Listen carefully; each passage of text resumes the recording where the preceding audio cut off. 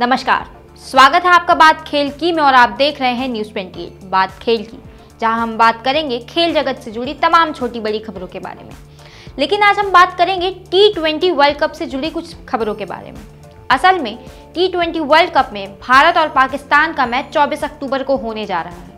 पाँच बार T twenty world cup में दोनों टीम पाँच बार आमना सामना कर चुकी है, जिनमें से पाँचों के पाँचों मैच ही भारत जीत चुकी है। ये छठवीं बार होगा जब दोनों टीम आमने सामने होगी।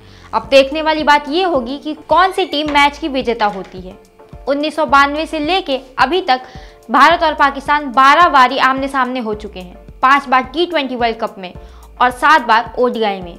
जिनमें से 12 के 12 मैच भारत जीत चुकी है। अब देखने वाली बात ये होगी कि इस मैच में कौन सी टीम विजेता होती है। कौन सी टीम के सर पे विजेता का ताज होता है और कौन सी टीम हार का सामना करेगी। क्रिकेट से जुड़ी तमाम छोटी बड़ी खबरों के लिए देखते रहिए न्यूज़ 28 नमस्कार।